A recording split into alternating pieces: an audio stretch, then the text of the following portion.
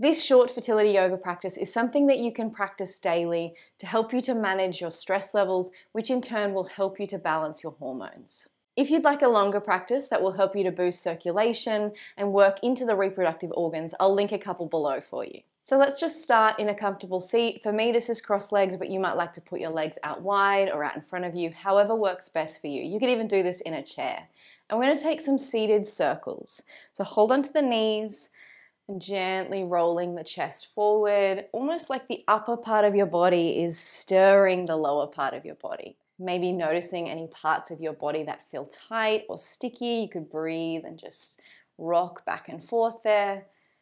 And then gently reversing the circles in the opposite direction.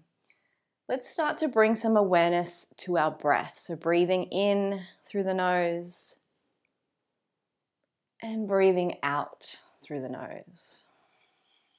So see if you can notice your natural breath rhythm and then deepen it just a little, breathing in a little bit deeper each time.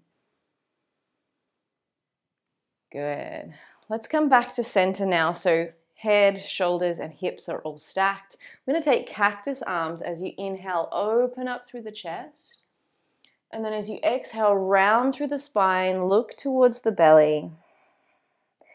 Inhale as you open up. So take your time here, really enjoying the movement, enjoying the breath. Exhale as you round, look towards the belly. One more here. Inhale as you open up.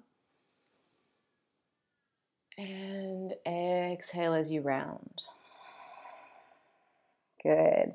We're going to come up and over into a kneeling lunge. So just step one foot forward. Make sure that the feet are on train tracks. So you don't want the feet in alignment or you'll be really quite wobbly. Take them on train tracks. If you need to, they can even come a little bit wider than that. And then I want you to inhale, reach forward.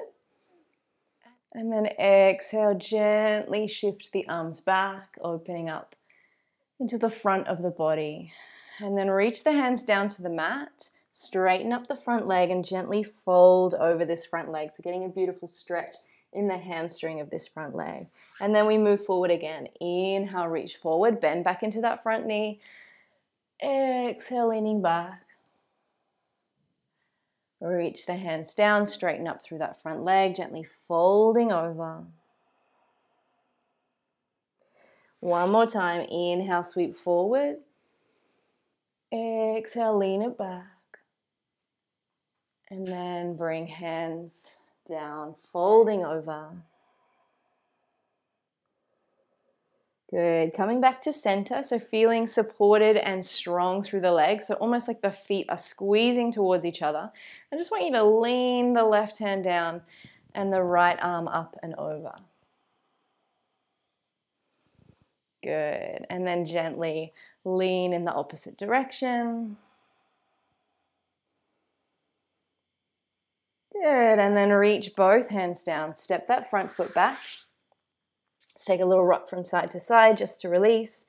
And then we're going to move into what is called cat cow. So with the hands under the shoulders, inhale, lift the tail, lift the head. Exhale, round through the back. Look towards the thighs, press the floor away. And again, inhale, lift the tail, lift the head. Exhale, round, press the floor away. Last one, inhale. And exhale. Good. Let's step that right foot forwards. Into that kneeling lunge once more, moving straight into it. Inhale, reach the arms forward, and then exhale, draw them back. Bring the hands down, fold over that front leg. And again, inhale, take your time. Remind yourself there's no hurry. You are exactly where you're meant to be. Exhale, fold.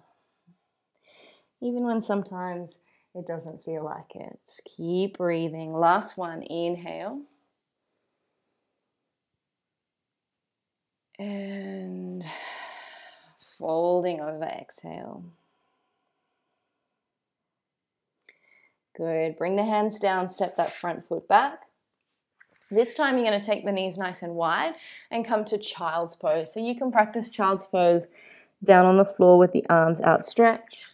If you have a bolster or cushion, you're welcome to bring that underneath the chest just to give you that extra little bit of support.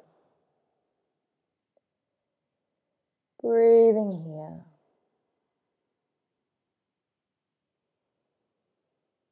Letting the head, the neck, the shoulders, the back, the hips, bring it all get heavy. Allow yourself to feel supported in this position. Good, on your next breath, coming all the way up, back to have a seat.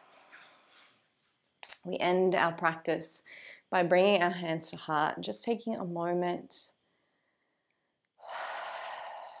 being here, mind and body connected. Thank you for sharing your practice with me today.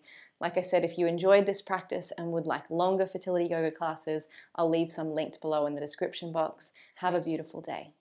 Namaste.